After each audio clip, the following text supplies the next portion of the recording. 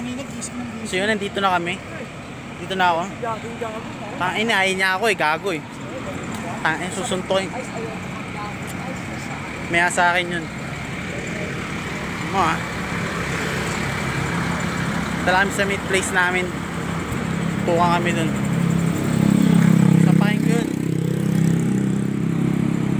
Huwag magtatawag ah. Sino pala yung bus ngayon? Tukan lang ah. Oo. Kaya yung suntukan yun. Dito na ako, punta ako sa meat place na suntukan tayo ah. Kumagaya ng kasama ah. Punta na kami. Tado ka ah. Sunto ka sa akin. Ha? Ano mo ah? Tangin mo ah. Ano? Ha?